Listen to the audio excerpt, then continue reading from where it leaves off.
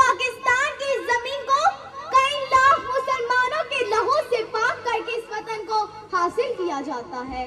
ये वो पाकिस्तान है जिसकी तारीख को मैंने और आपने खून के कतरों से लिखा है न जाने कितने शहीदों ने अपना खून निछावर करके इस वतन को हासिल किया है मेरी माओ ने आँखों के उजाले दे दिए जिसको मेरी बहनों ने अक्षा के सितारे दे दिए जिसको जिसे बख्शा है जख्मों ने लिबास से मुश्कबू अपना शहीदों ने निछावर कर दिया लहू अपना रफीका ने जिस तरह जहाँ में ईमान ज़िंदा है, वो पाकिस्तान ज़िंदा था, वो पाकिस्तान ज़िंदा है।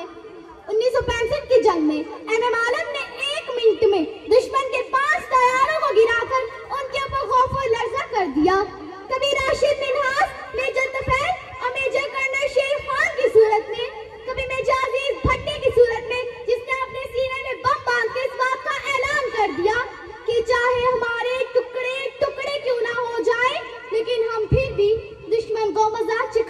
रखेंगे हमारे दुश्मनों ने ये बात बड़े फखर से कही थी कि हम सुबह का नाश्ता लाहौर में करेंगे।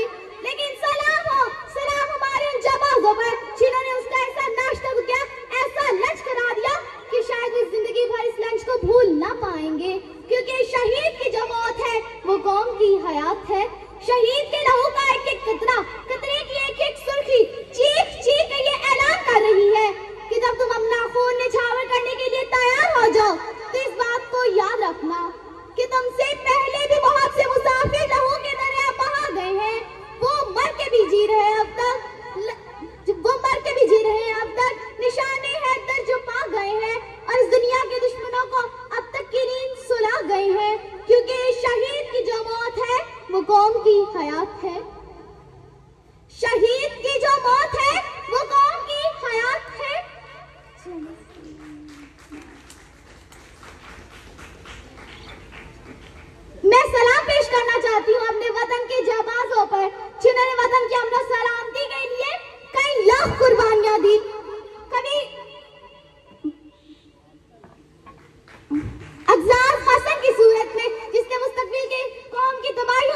बचा कभी 130 नन्हे शहीदों की सूरत में जो आर्मी पब्लिक स्कूल में पढ़ रहे थे, लेकिन उनके दोस्त बच्चे दोबारा उसी स्कूल में पढ़कर तालीम हासिल करते हैं और इन दुश्मनों को पैगाम दे देते हैं कि हमने दुश्मन के बच्चों को भी पढ़ाना है।